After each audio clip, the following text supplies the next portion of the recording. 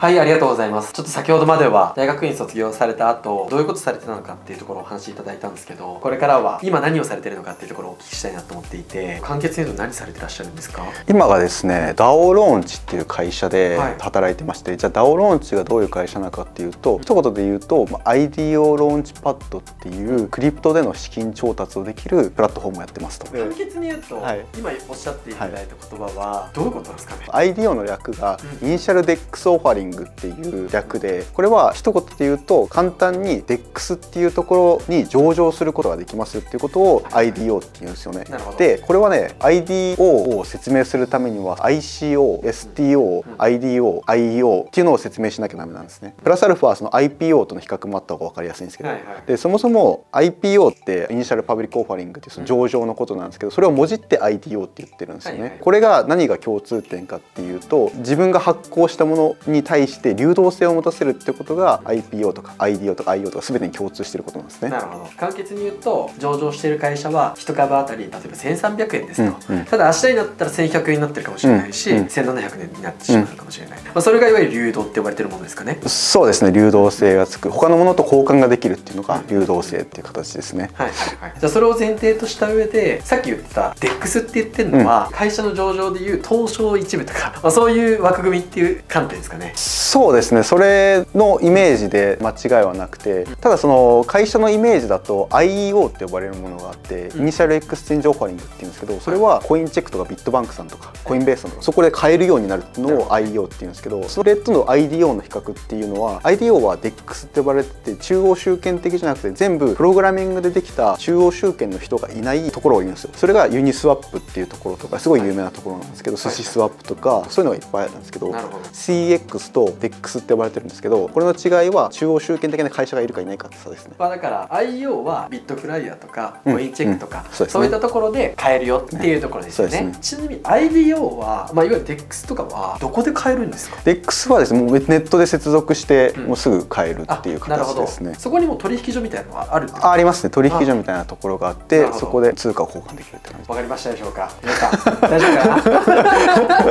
な？一回使ってみたらわかります。確かにね、まあ、っていうのがありますと。でそれを活用して資金調達をサポートするようなプラットフォームを作るそうですね。おっしゃる通りですね。なるほど。これちなみに資金調達をする対象者は企業さんですか？企業さんですね、うん、スタートアップの方たちプロジェクトって呼んでるんですけど、うん、その方たちが調達をするためにお手伝いするっていう形ですね。なるほど。そこの対象は日本の会社ですか？それとも世界の？えっともうほぼほぼ世界ですね。そうなんですね、はい、日本基本的にそのトークンを発行して交換することができるっていうのは日本だと資金決済法っていうのがあって、うん、金商法一種っていうのを取らなきゃダメでそれは結構難しいんですよね、時間もかかるし金もかかるし、なので基本的には日本の会社だとしても海外で拠点を作ってもらってそこでトークンを発行するって形じゃないと日本の法律は難しいです、ね、ああそういうことですね、まあ、そういったところも含めて種は日本以外の対象で、まあ、日本の人たちにアプローチするのであれば海外に一旦会社を作っていただいてそうです、ね、そこに対してのトークン発行みたいなそうですね。をする。はいそうですね。ちなみにトークンって何ですか？トークンっていうのがですねブロックチェーンイーサリアムとかよく有名なところがあるんですけど、うん、イーサリアムのブロックチェーン上で発行できる暗号資産のことですね、うん、これはもちろん BSC とかどこの上でも発行できるんですね。なるほど。それを発行してそれで何するかっていう話かな、でこれ株式と比べた方が分かりやすいかなっていうふうに思ってるんですけど、うん、じゃあなんで僕が株式の VC をやっていてトークンに移ったかっていう話をすると、トークンはエクイティのエクイティ株式ですね。上位互換だと思っていてじゃ何が違うか3つ違うことがあると思ってて1つ目がその流動性の観点で2つ目が報酬設計の観点で3つ目がオーナーシップの観点でこの3つがあるんですけど、まあ、1つ目がこれはエクイティとそのトークンの違いの話なんですけど流動性の観点から言うとエクイティっていうのは投資家としてはスタートアップに投資をして大体 IPO するまで10年かかるもしくは EXIT するっていうのがあるんですけどこれっていうのは結構しづらいですよね。10年かかるかもしくは買収されるかっていうで大体年間で150社ぐらい毎年平均で EXIT ができてるんですけどスタートアップの資金調達の件数って大体1800件あるんですよ。で1800社がまあ資金調達してる中で大体150社ぐらいしか上場できてない。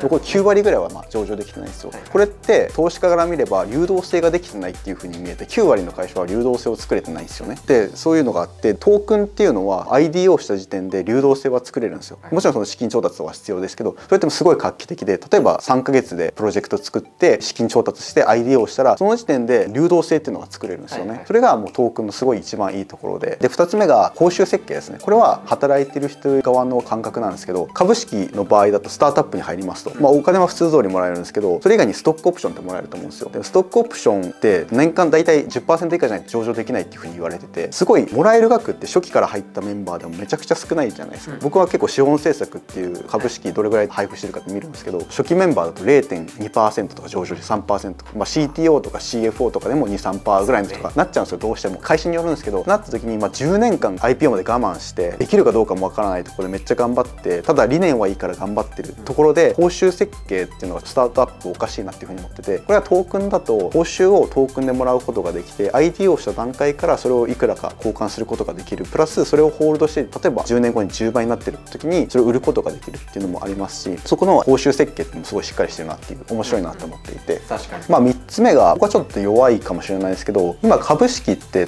ば任天堂の例を出すと任天堂の株式持ってる人とサービス使ってる人って全然違うじゃないですか。あれってなんかちょっと違和感があって儲かるから買ってる人と楽しいから使ってる人っていうのが全然違うと。これってトークンの場合だと Axie Infinity っていうゲームがあるんですゲームって基本的にトークンを発行しててブロックチェーンのゲームは。投資をする人とプレイする人って結構一緒なんですよね、うん、でそのトークンをプレイでも使えるしなおかつそれがたくさん持ってたらガバナンスとかオーナーシップとかそういうのを作るっていう。株式とゲームトークンが一緒になったような形でも使えるんですよ。それっていうのはサービスとしての盛り上がりにもなるしサービスが伸びればトークンの価値も上がるし全員嬉しいしでサービスとしても使えるし好きだから使ってるしその両方の性質を持ってるっていうのがすごいいいなと思ってて。これが大きな3つの違いっていう僕が思ってるところですね。なるほどね。大きく分けて IPO するまでの上場で流動性が発生できるためのスパンが短縮できるっていう話とそうですね。オーナーシップって言って IPO した時に従業員に対してのバックっていうところがあるんですけどそこが従業員に対して効果的っ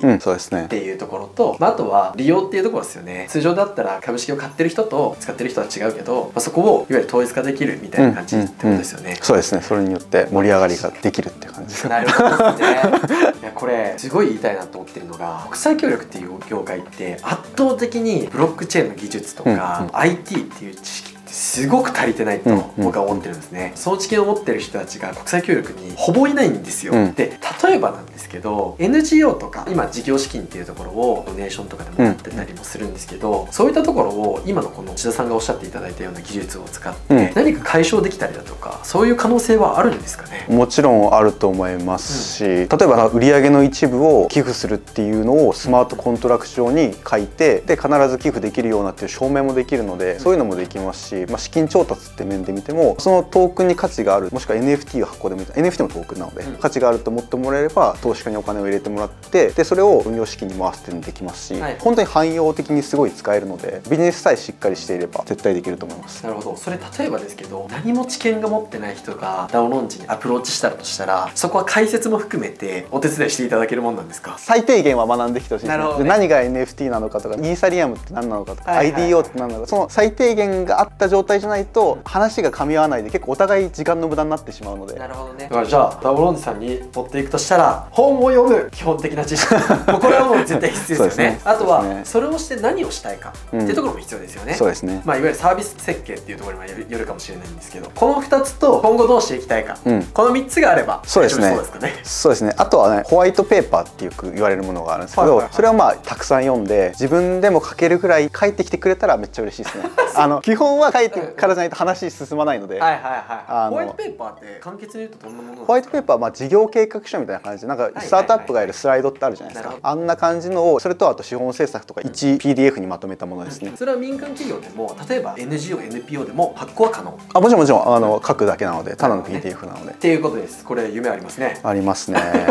はいありがとうございます。ありがとうございます。じゃあちょっと最後っていうところで、インドとかいろんな国見られてたと思うんですけど、日本っていうのをちょっとどう見えてるのかっていうのもお聞きしたいなと思っててどう見えてますか？めちゃくちゃいい国だし、うん、ご飯も美味しいし安全だし住むにはいい国じゃないなと思うんですけど外に目を向けないとなかなか難しくなっていくなって一方で感じますよね、やっぱりその多様性がないというか単一民族だけっていう国ってのは珍しいというか相対的に貧乏になっていってるので日本人は世界から見てもそこはやっぱりあのしっかり受け止めて外を見ながらちゃんと比較していく方がいいのかなっていうふうに冷静に思いますね、うん、まあ、世界はもっと早く発展してますよねしてるので、ね、本当に。じゃあちょっと次の質問を生かしせてもらいたいなと思ってるんですけど、はい、海外行ってみて、はい、国際協力って千田さんが見る何ですかね？国際協力は国際協力って言っていいか分かんないですけど、まあ、その第一歩として日本人って認知してないことがめっちゃ多いなと思ってそもそも認知しないと関心になってそこから行動に移すことができないんでそれこそなんかアフガニスタンの問題僕も友達いるのですごい真剣に考えてるその情報とかもあんまり認知できてないっていう人も結構いると思うんですよ。それこそ世界中に問題があってそもそもそこを認知できないと関心に持てないんでそういうところに認知を持って興味を持って認知を広げていくっていうのが、まあ、国際協力なんじゃないかな最初のと思うんですよね。今千田さん言ってるのってニュースで得られる情報をインプット情報としてどこまで自分で調べられるかっていうところが認知だから、うん、情報として入ってくるものだけじゃなくてそこをちゃんと自分でじゃあそれって本当なんだっけとかちゃんとそこの情報を取っていくっていうところまでが認知なんでね。ありがとうございます、まあ、ありがとうございます。ちょっと最後。千田さんはインド大学院とかいろいろ行かれてると思うんですけど